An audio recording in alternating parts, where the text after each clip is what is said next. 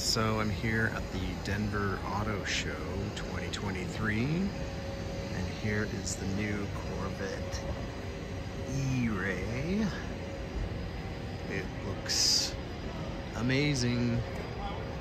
I love, love the C8.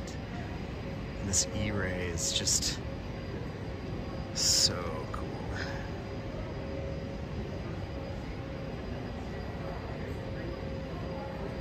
Up to 655 combined horsepower.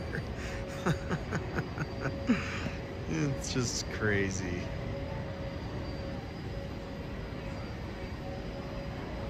But wow. What an amazing car.